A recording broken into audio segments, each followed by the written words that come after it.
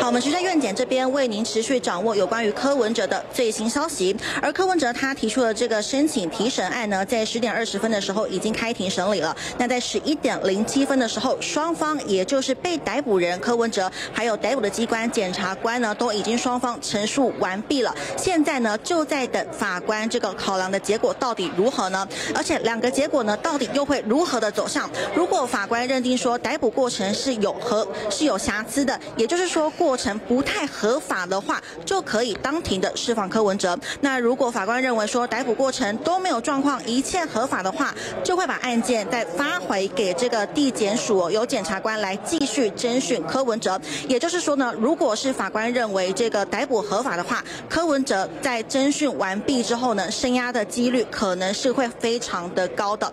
而柯文哲这个案子呢，其实有法界人士就分析了，也体现出了这个诉讼法上的。却有一些不太明确规定的地方，因为这一次检察官这边呢会当庭逮捕柯文哲的原因，就是并不是柯文哲他拒绝侦讯，而是柯文哲拒绝夜间侦讯之外呢，呃，就夜间侦讯还想要离开这个地检署的。但是诉讼法上面有规定说，只要被告到庭之后，审判长没有同意的话呢，被告是不可以离开的。但是这个仅限于，但是呢，这个仅限于在这个呃审判的程序的，但在准备程序在侦查的程序上呢是没有是没有那个呃明确的规定的。好，那我们现在可以看到呢，柯文哲的申请提审案件呢，现在的结果就已经出炉了。目前呢，法官是驳回的。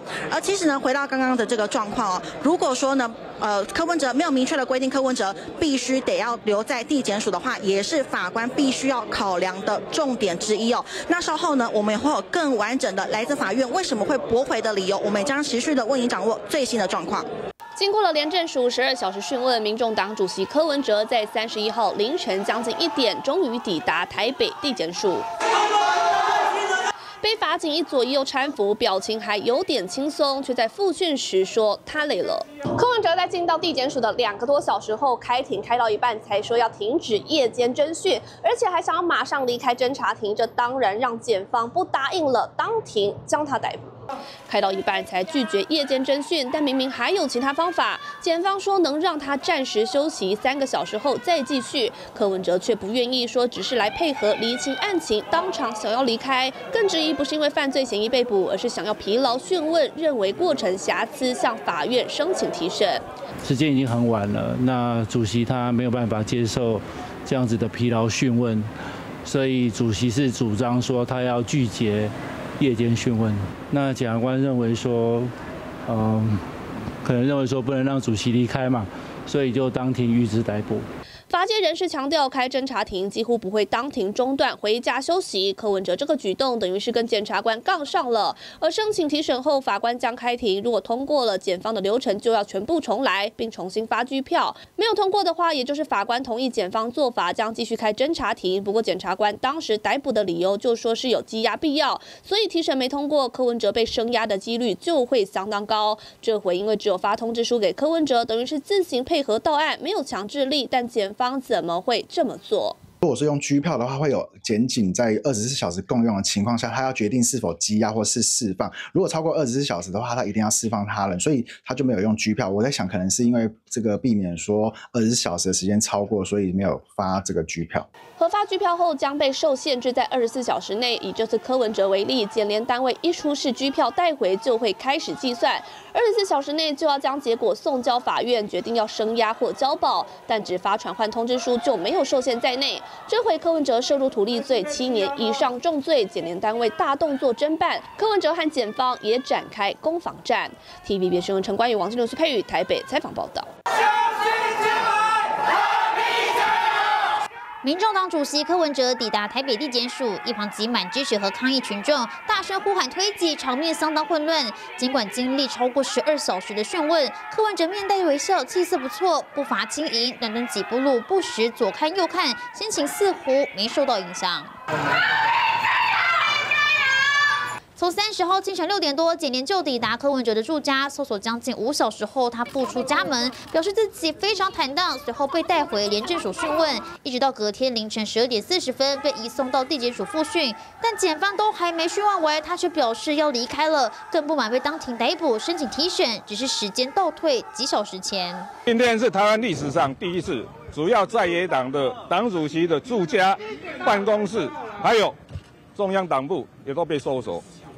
当然，我非常坦荡，我知道我没有问题。我也希望执政当局要清楚的说明，他今天是有什么证据。哦，要做这个动作。他在住家门口还信心满满说知道自己没问题，还要求执政当局说清楚。但怎么真的到了询问立宪案情时，态度却出现了大转变。而为此，北检指出，询问过程中，柯文哲表示不愿继续接受讯问，甚至还想要直接离开侦查庭。当下告知他可以先休息再接受讯问，但仍被拒绝，就怕他离开侦查会更加困难，当庭预知逮捕。而被告和辩护人表示要行使提审权，但检方。指出，要是让他这么走了，不仅会妨害侦查，还使得案情晦暗不明。如今程序还在进行当中，社会瞩目案件过程合不合法，外界都在看，就怕有任何闪失，反而让真相石沉大海。体育新闻综合报道。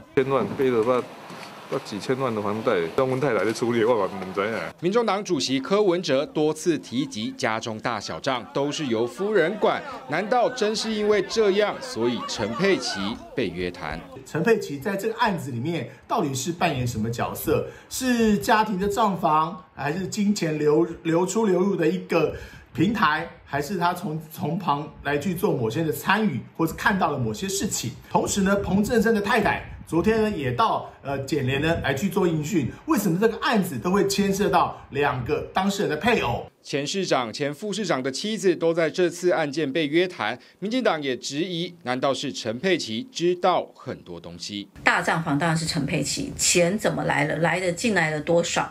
或许柯文哲不见得清楚，但是陈佩琪应该非常清楚。陈佩琪是针对过去柯文哲前市长从政期间所有大大小小的事情，他都知道的相当的清楚，所以三不五时就要上脸书好好的抒发表达意见。难怪检调要传唤陈佩琪说明。陈佩琪以证人的身份接受检方复讯后请回，民众党发声明他已经平安返家，但是根据我们了解，他其实并没有回到北市住处。就在三十号晚上十一点四十七。分，民众党点书声明，稍早陈佩琪医师以证人身份已结束侦讯，返家休息，状况都好，请大家安心。佩琪医师哦，他接受侦讯的内容，我们必须要诚实的跟大家报告，我们无从得知。昨天以证人的身份配合讯问那么久的时间，我们只知道昨天他有安然的返到休息的地方，一切都好。当下由黄珊珊亲自接送，不过到底回了哪个家？被约谈后又有啥想法？粉丝或许也期待他能再剖个脸书抒发抒发。TVB 的新闻李明辉、张于台北参道。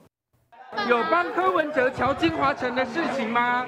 一身黑衣，戴着口罩，民众党主席柯文哲的妻子陈佩琪步入地检署，虽然挥手和大家致意，脸上却略显疲态。我跟你讲他刚才的情况吗？历经两个多小时的讯问，陈佩琪讯后请回，走下楼时看得出来体力似乎到了极限。但就在他离开北检时，早就有一辆银色的轿车在门口等他，上头驾驶就是民众党立委黄珊珊。而似乎看见了救命稻草，陈佩琪挤过大批人群，打开后座车门，坐上车后，这才总算能好好休息。而黄珊珊也马上开车闪人。这回卷入金华城的弊案，陈佩琪以证人身份被约谈。三十号中午十二点多，他和柯文哲一同被带回廉政署讯问。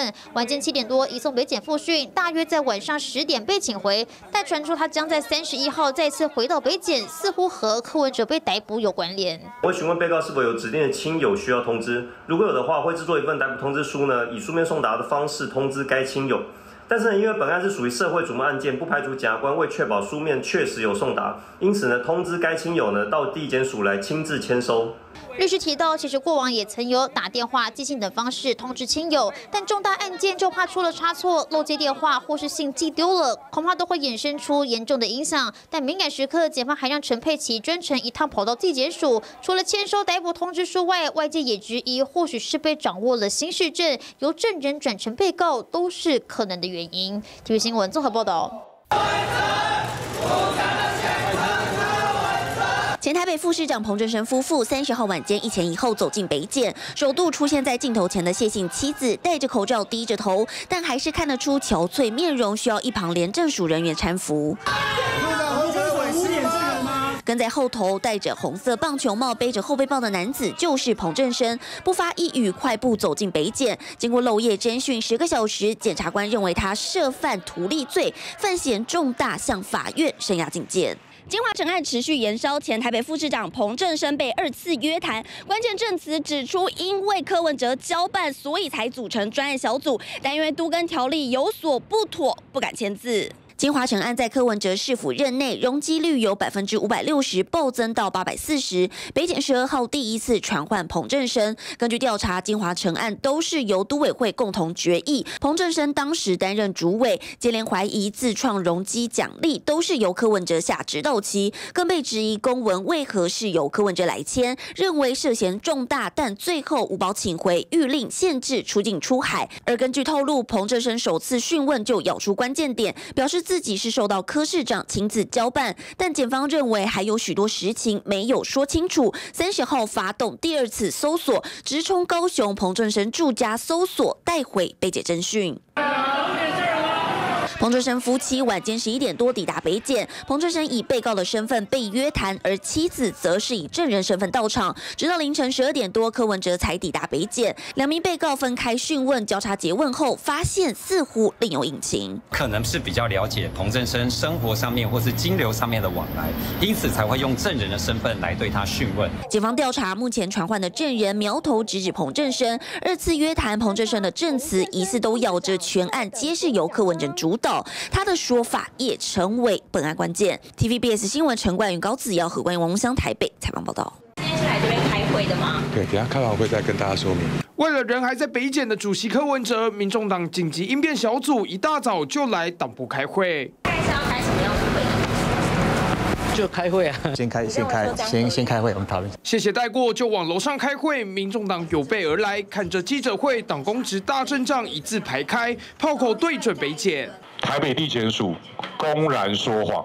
昨天在搜索的现场，他们到底是怎么在进行搜索的？前一天中央党部搜索，明明检联告知，告诉外界仅限柯文哲办公室，但民众党调出监视器，指控检联人员不但在公共办公区域东翻西找，甚至还随意翻动同仁私人东西。那北检是不是要公开讲柯文哲卡打鬼受灾？都爱搜索，柯文哲眼睛看过去的柜子，都应该要打开搜一搜看一看吗？质疑搜索过程有瑕疵，侦讯方式也有问题。民众党质疑柯文哲因拒绝夜间侦讯，遭到检方当庭逮捕。民众党对检联三十号到三十一号十个多小时马拉松讯问柯文哲有意见。经过了十九个小时，配合调查侦讯。没有人在这样的情况下不会累。我们对于柯文哲主席拒绝接受检方长时间疲劳的讯问，捍卫自身合法的程序权益，我们表示全力的支持。捍卫主席抗议司法，民众党整装备战，为下一步司法不公预做准备。TVB 新闻张家宝、李宗泽台北采访报道。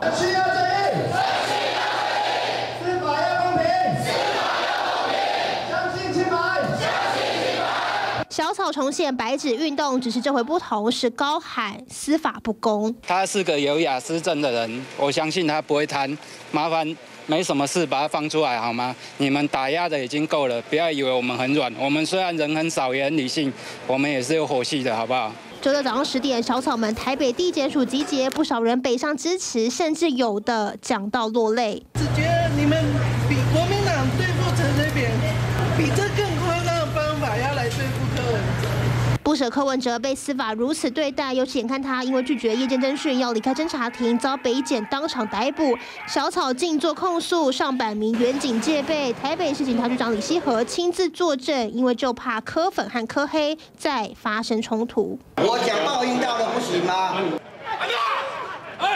就在柯文哲被移送北检当晚，场外大骂报应到了，甚至双方差点打起来。远警立刻上前制止，即便架设巨马，双方还是吵没完。柯文哲被剪掉带回，也登上外媒版面。韩联社以标题“住房争议挟持年轻人的柯文哲因房产争议陷入尴尬”。南华早报则以台湾主要反对派人物因贪腐接受调查。柯文哲的政治路，国际也很关注。TVB 新闻吴俊、刘俊阳配于亚腾报道。